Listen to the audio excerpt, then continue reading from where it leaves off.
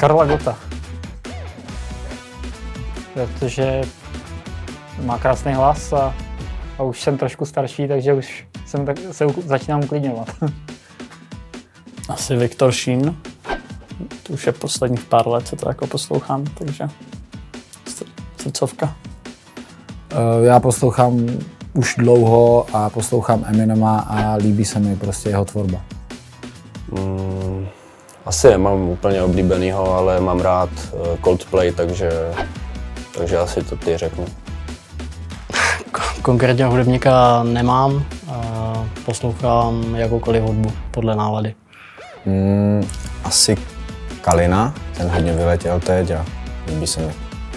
Toho hudebníka asi nemám žádného oblíbeného, poslouchám vše, vesměs všechno. A Machine Gun Kelly, ať je to ten rap, nebo Hanku Zagorovou, jo, cokoliv fakt. Kabáty, jo.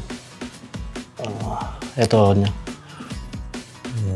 Grupu Salsicha a baví mě jejich texty.